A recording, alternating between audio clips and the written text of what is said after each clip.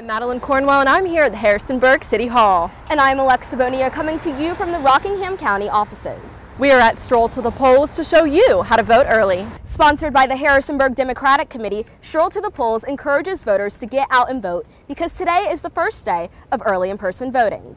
We're here today with some of the candidates on the ballot and voters. Get your ballot, you go vote, and then you go celebrate.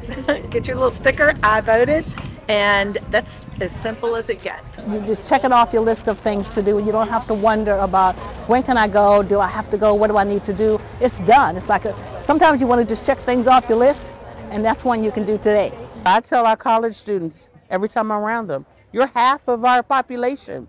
We need your vote. We need your voice. No matter your partisan views, it's just really important that everyone does participate and does contribute to uplifting our democracy. Before coming to vote, make sure to check your registration status or call your registrar's office. You do not have to have a reason or fill out an application to vote early.